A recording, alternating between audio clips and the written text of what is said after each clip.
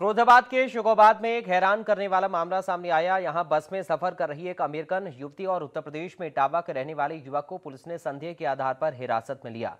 पूछताछ की गई तो दोनों निर्दोष पाए गए, लेकिन उनके साथ घूमने की कहानी ऐसी निकली कि मामला वायरल हो गया। दरअसल लड़की मूल रूप से अमेरिका की रहने वाली है। पबजी खेलते हुए उसकी दोस्ती चंडीगढ़ में रहने वाले एक युवक से हुई। अमेरिका से चलकर वो चंडीगढ़ पहुँच गई। तीन महीने उसके साथ रही थी। पबजी खेलते हुए ही उसकी दोस्ती इटावा निवासी युवक हिमांशु यादव के साथ हो गई। और वो उसके साथ चली गई। हिमांशु उस लड़की के साथ बस में सफ़र कर रहा था। इसी दौरान किसी यात्री को शक हो गया और उसने पुलिस को सूचित कर दिया। इसके बाद पुलिस दोनों को हिरासत में लेकर थाने पहुँची।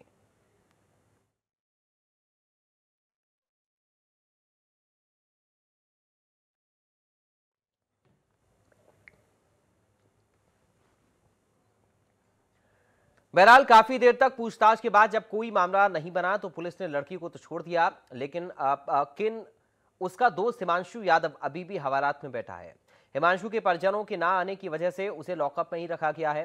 कोतवाल अनिल कुमार सिंह के मुताबिक हिमांशु के परिजनों के आने के बाद उसे सुपुर्द कर दिया जाएगा। इसी को लेकर देखिए हमारे संवाददाता सौरभ उपाध्याय की ग्राउंड रिपोर्ट।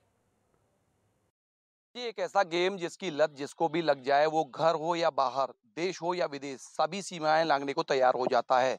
ये बात हम इसलिए कह रहे हैं कि एक मामला आया था कि सीमा हैदर पाकिस्तान से और पाकिस्तान की सरहद को पार कर भारत देश में आ गई थी। पबजी खेलते खेलते इश्क परवान चढ़ा और वो देश में आ गई, भारत देश में।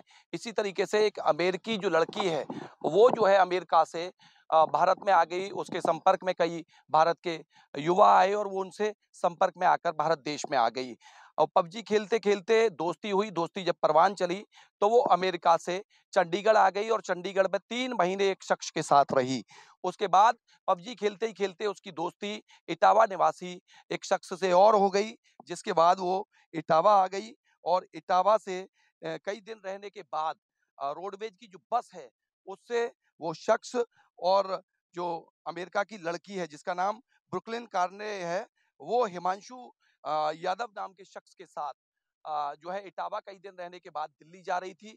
इसी दौरान जिस रोडवेज़ बस में जा रही थी, किसी यात्री को शक हुआ कि अमेरिकी लड़की और हिंदुस्तान का लड़का, उसने इस पूरे मामले की शिकायत जो है वो पुलिस को कर दी। पुलिस ने रोडवेज़ बस से उस लड़की और लड़के दोनों को उतार लिया, जिसके बाद घंटों जाँच पड़ताल की। दोनों को घंटों थाने में बिठाया गया, जिसके बाद निर्दोष पाए जाने पर, क्योंकि टूरिस्ट वीज़ा पर लड़की जो है अमेरिका से भारत आई थी और चंडीगढ़ में रहने के बाद तीन महीने चंडीगढ़ एक फ्लैट पर रही। उसके बाद हिमांशु यादव नाम का शख्स जो उसके संपर्क में आ गया, उसके साथ जो है चली आई इटावा। इटावा कई दिन रहने के बाद उसके साथ वापस दिल्ली जा रही थी। इस दौरान जो रोडवेज़ की बस थी, वो शिकोबाद होती हुई गुजर रही थी। शिकोबाद में उसको पुलिस ने रोक लिया और लड़की और लड़के दोनों को उतार लिया।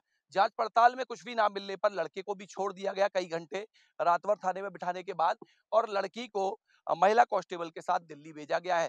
पूरा मामला इसलिए चर्चाओं में आ गया कि अमेरिका से यहाँ जो है दोस्ती हो जाने पर, दोस्ती परवान चढ़ जाने पर पबजी खेलते खेलते जिस तरह युवती यहाँ आ गई, पूरे में चर्चा का विषय बना हुआ है।